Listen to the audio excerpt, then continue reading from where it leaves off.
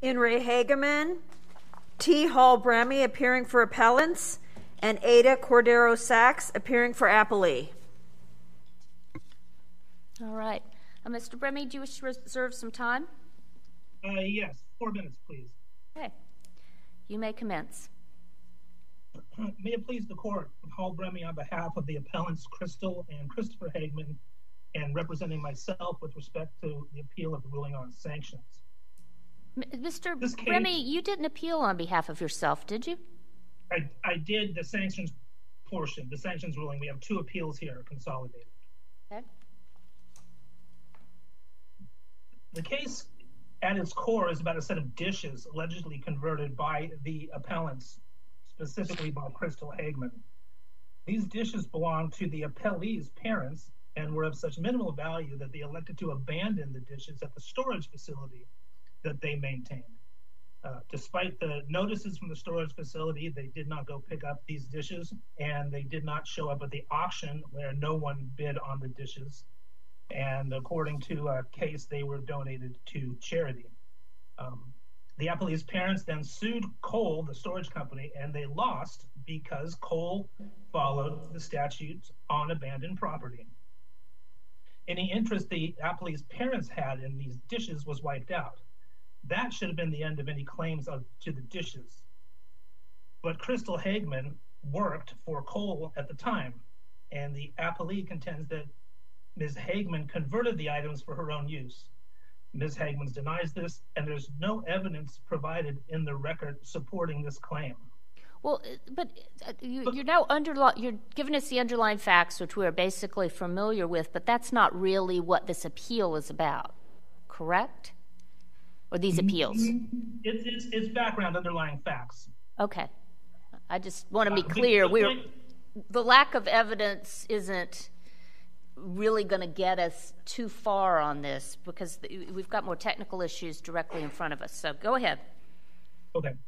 Um, at, this point, it, it didn't matter even if she had taken the property, it no longer belonged to appellee or- or her parents. So during the Just, just out of wild, just out of wild curiosity, when there was a complaint filed uh, against your client, was that part of the response of the defense? What you're telling us now? there was initially a complaint in Superior. Well, I understand that, but you filed a bankruptcy. Now it's in bankruptcy court. So is all this lovely stuff you're telling us part of the answer, which you withdrew? Oh, um, no, but I li- believe it's part of the motions Okay. Okay. that are there. Um, I guess the, the point I'm trying to get to slowly here is that the appellants were not required to file anything in opposition to the appellee's motion for a default judgment. Because of the rules on default judgments, appellees, appellants were entitled to seven days' notice and they could show up at the prove up hearing. There was no requirement to file anything. In this case, the appellants did file written objections and an opposition to the uh, the, motion for an entry of default judgment that was filed by the appellee.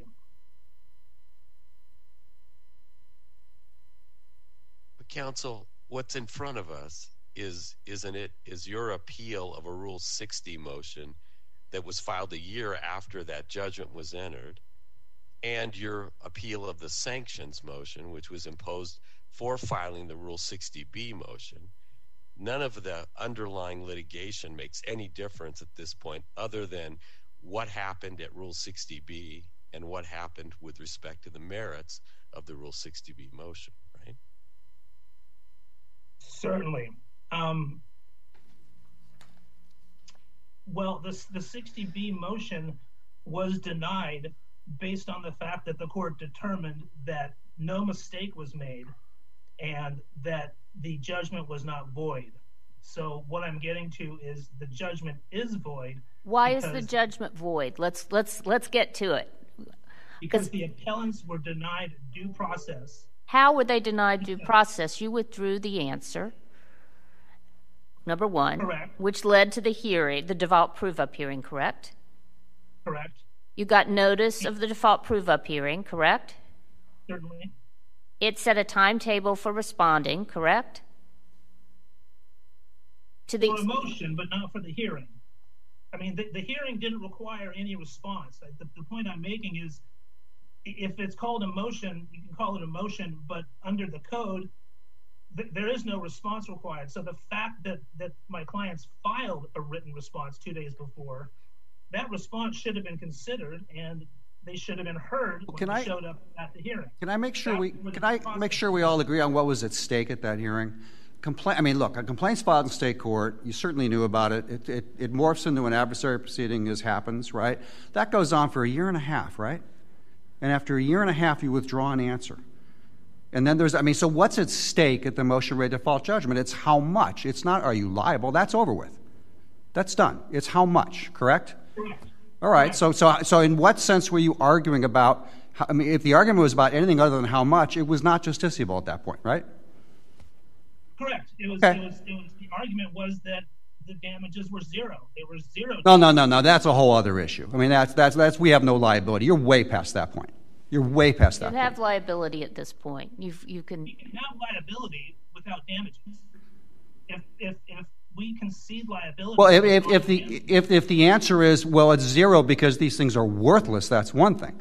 If it's zero because we ain't liable, that's wrong. That's just you can't get there. So, so, so, so tell me, tell me, tell me how that worked out for you. Not too well. The the strategy of, of, of, saving money and streamlining this process by withdrawing the answer in retrospect okay. would have been much cheaper to go to trial. However, that procedure was appropriate, and the argument is there should not be any judgment entered because the this, yeah, okay, this these dishes are worthless. Counsel, the judgment's entered. You appeal, right? Yes. No. No, you oh. don't appeal. No, you don't. No, you don't appeal. You don't do anything for a year and then you file a Rule 60B motion. That's what we're faced with today. Right. And in your Rule 60B motion, you're suggesting, hey, you never had jurisdiction. Really? Uh, my due process rights were violated. Really? That's a year ago. And and the argument is we didn't have notice. You had notice. So what you're trying to do is use the Rule 60B as an appeal from the underlying judgment. That's not appropriate. So I'm struggling with where your position is, the merits of your position vis-a-vis what the judge has ruled with regard to not granting you the relief under Rule 60B and imposing sanctions. The Rule 60B, the, the, the, the violation of due process was because my, my client's objections were not heard. They were not considered. But that, that could have been the basis of appeal.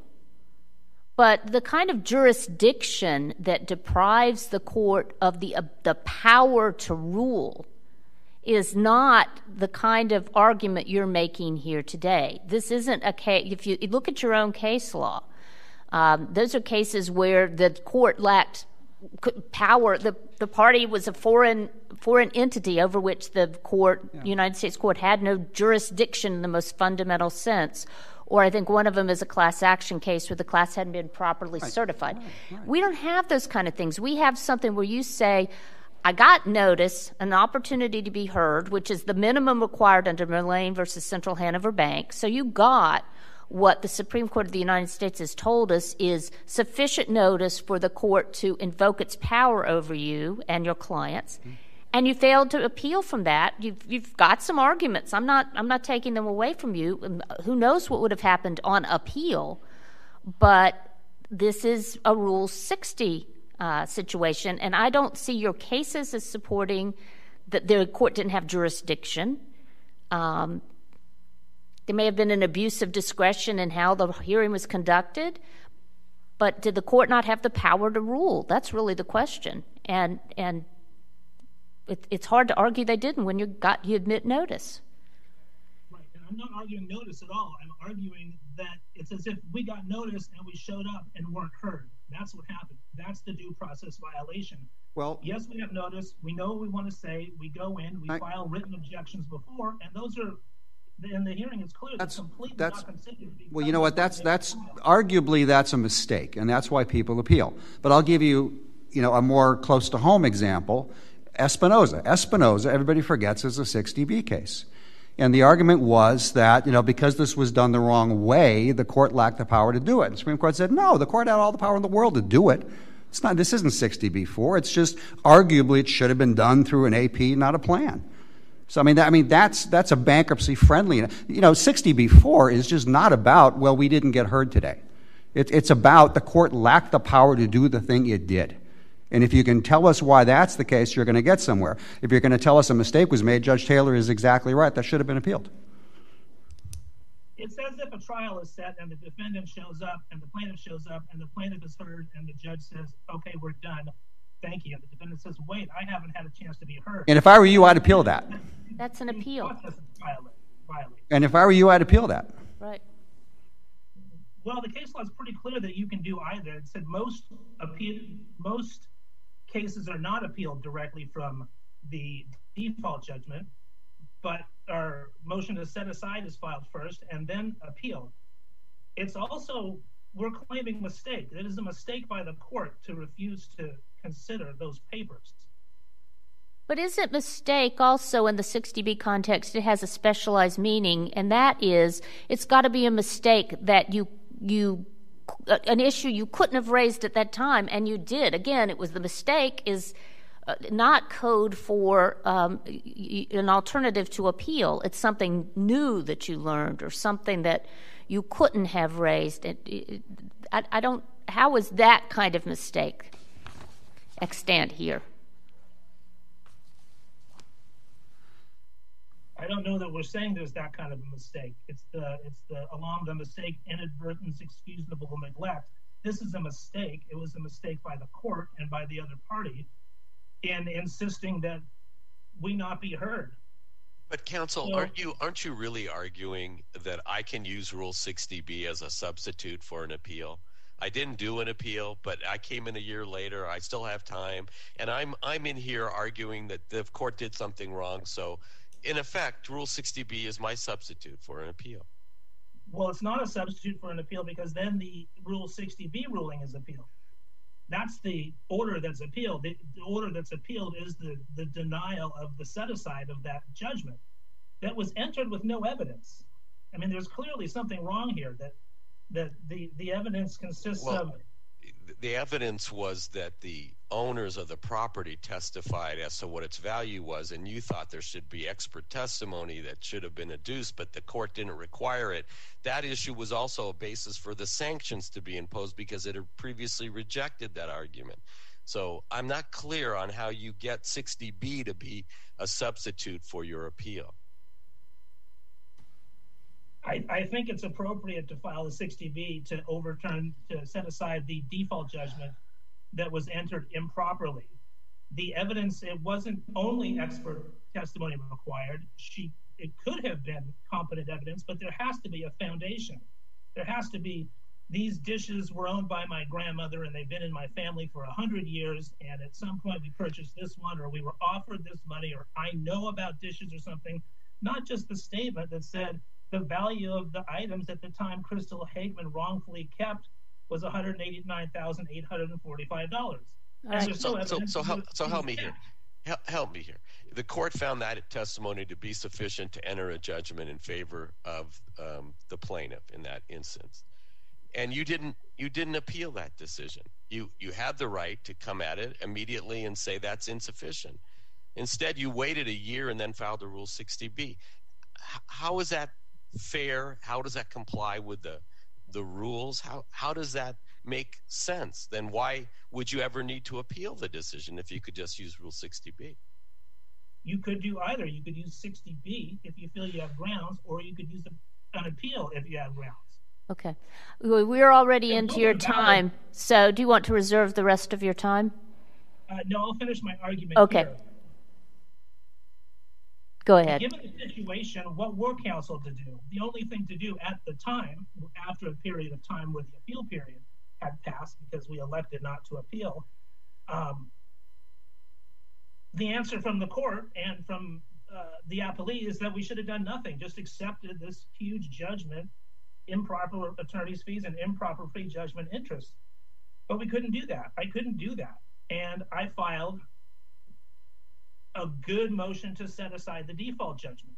everything in my motion is supported by by by the by the case law or by the statutes. There's nothing in there that's frivolous. The court might disagree with my motion, but as far as sanctionable conduct, nothing in there is frivolous. Nothing is filed for an improper purpose. There were no collection actions bearing down our throat. It was they had the essentially appellate appellee hadn't done anything uh, to enforce the judgment. Um, so it wasn't for a delay. It wasn't any improper purpose that could be cited. The motion for sanctions is not specific as to what the problem is. There's no way to tell by reading that that there's any problem other than the filing of the motion itself, which I contend we had no other option to do because the judgment was so bad that was that was entered. Uh, All right, counsel, uh, your your time is up, counsel. OK, thank you. Thank you. All right. Um, Ms. Cordera Sachs. May it please the court and good morning. I'm just going to touch on a few items. I doubt I'll take the 15 minutes, which I'm sure is pleasure to everybody's ears. Um, there's a basic tenet in our juris, our jurisprudence of finality of judgments. Um, the The debtors had a pattern of doing this in state court in 2016. We were two days away from jury trial. They filed a vacuous BK. Two days before our pretrial conference, which, as you know, there's just a lot of work. Um, it's It's an enormous amount of work. We did it twice unilaterally because debtors didn't participate. In that document, we had an investigator that was clearly going to show that their BK was false. So instead of litigating, they did this strategic withdrawal. They withdrew their answer. In so doing, all the allegations in the first amended complaint, except for damages, were deemed true. So with that preface, we did our uh, they got the default entered once uh, they withdrew their answer and we did our package. Now, COVID hit. COVID hit right at that time. I didn't anticipate even before COVID there being an actual hearing because most of these things are done on declaration. They had withdrawn. All we had to talk about was the damages and then go through the whole factors. Now, I find it very interesting that in their record, they don't even attach the motion, the application with all its backup. We did. It's all there. Now, I understand we had that hearing on June 4th of 2020. Of course, the court wasn't going to have a live hearing then. We were in COVID. But even if we hadn't been in COVID, there wouldn't have been a live hearing. They did submit these objections, which had already been ruled on. Mm-hmm. Statute of limitations was gone. Court had ruled on that.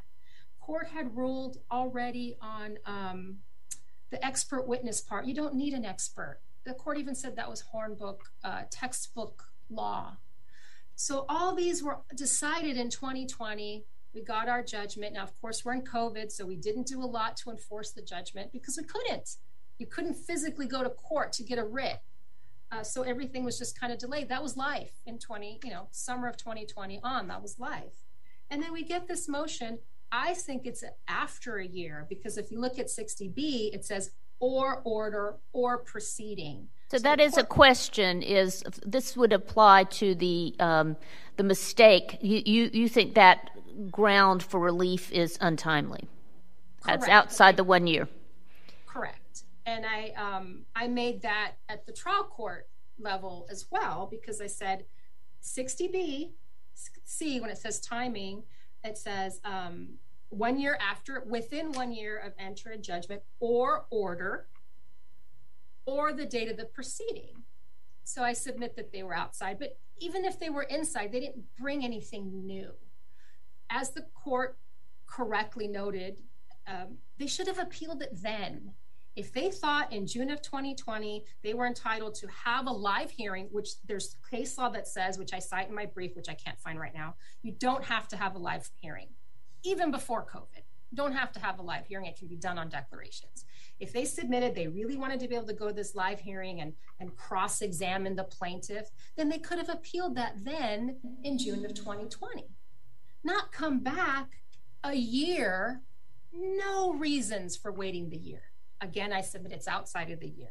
Then they had this whole voidness argument, which we addressed below, which says you that's just like a jurisdictional issue. You—you don't—you can't get there. And we repeatedly told them you cannot use a 60B motion in substitute for an appeal. And I have that case cited. It's the, the, kosher v. Dow chemical case. It says you can't you can't do that. And that's exactly what it appears that they're doing. So, Your Honor, I think, uh, Your Honors, I think you, you've you've really kind of got the grasp of it. And I do want to. so, so Ms. Sachs, uh, the other the other thing is that you wrote them and said this motion is not viable.